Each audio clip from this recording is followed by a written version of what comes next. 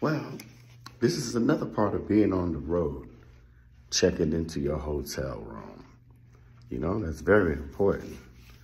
Like, you know, before you get to the venue, you want to be able to freshen up because you might be there for a little while doing a sound check.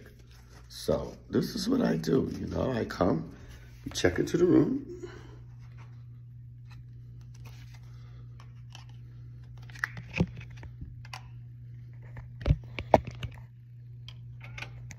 There we go. See the little green light flashing coming.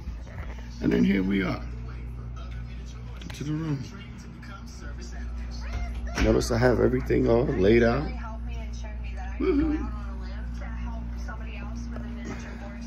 And I like to always have my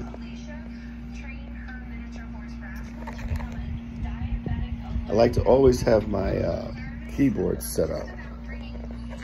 So in case I want to go over something or practice something. There you go. My computer. And the most important thing is to come and freshen up. So you come in here, set up your little, always have this little gig bag. This is really good.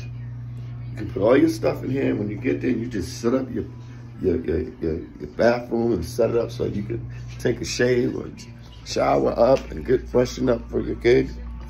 And then you're off and running. So here we are. Life on the road. Yours truly, Robert Wiggins of the Drifters. And, you know, after this, we're going to do the sound check. And after we do the sound check, maybe they'll feed us, get something to eat. Don't eat too much before you do a show. Make sure you have enough time for your food to digest. You don't want to be on stage burping, okay? So give yourself some time, you know, to uh, do what you have to do. Get your hair together, fix yourself up. You know, get ready to do your gig. And uh, have a good time, most of all.